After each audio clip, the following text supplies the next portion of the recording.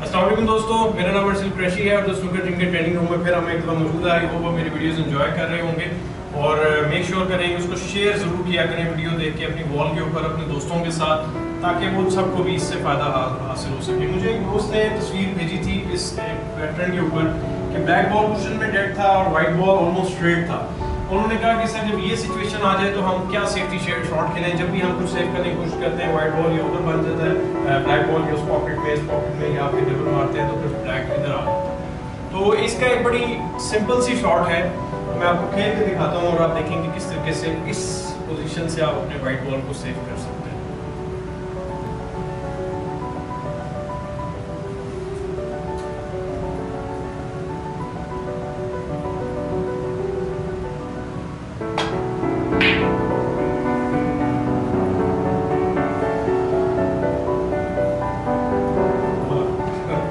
ایسے ایسی جی سیفٹی کرنے نہیں کر ہو سکتی کسی بھی لیول کے اوپر یہ جب سیفٹی ہے شارٹ ملتی ہے کسی پلیئر کو ٹرائی کوئی نہیں کرے گا، بلکہ اچھا خاصا سوچے گا کہ میں کس پوزیشن میں آ گیا یعنی کہ آپ نے اس کو کچھ بھی نہیں کرنا، وہاں سے آپ نے صرف اس کو ڈبل ہٹ کرنا ہے فل بال بلیک کے اوپر ناک کر دینا ہے۔ خود بخود بلیک جو ہے، اس کشن پہ ہٹ ہوگا، واپس وائٹ کو ہٹ کرے گا اسٹریٹ اگر وہ آپ کی سینٹرل اسٹرائکنگ ہے سائڈ نہیں ہونی چاہیے میک شیور کریں۔ سر ابھی بھی دیکھیں ہلکا سا وہ بال ہلکا سا اس طرف آیا، یہاں تھا اور یہ بال تھوڑا سا ادھر ہے۔ اس کا مطلب ہے ہلکی سی ان انٹینشنل سی سائڈ یا میں بھی کپڑے کے نیپ کی وجہ سے ادھر ادھر ہو گیا ہو۔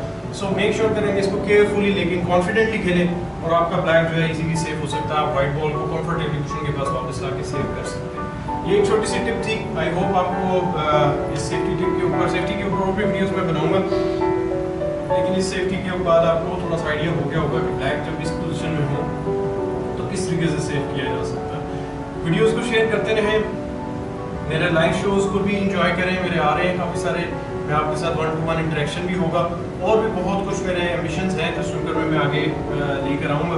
اور بہت سے دوست بھی میرے ساتھ آ رہے ہیں اور مجھے میسیجز کر رہے ہیں۔ اور وہ میرے ساتھ مل کے بھی کچھ کام کرنا چاہ رہے ہیں۔